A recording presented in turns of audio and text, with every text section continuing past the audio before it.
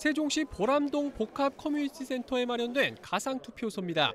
수십여 명의 유권자가 1m 간격을 두고 길게 줄을 서 있습니다. 만약 실제 상황이어서 지금 투표소에 도착한다면 약 30분 가까이 기다려야 하는 상황이지만 올해 세종시에선 유권자들이 이런 불편을 덜 수 있게 됐습니다. 세종시가 운영하는 스마트 포털 세종엔 덕분입니다.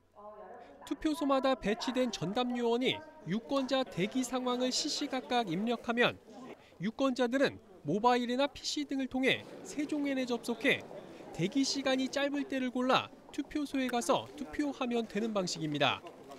대기 시간을 줄임으로써 투표자 간의 접촉을 최소화해 코로나19 확산을 막을 수 있는 겁니다.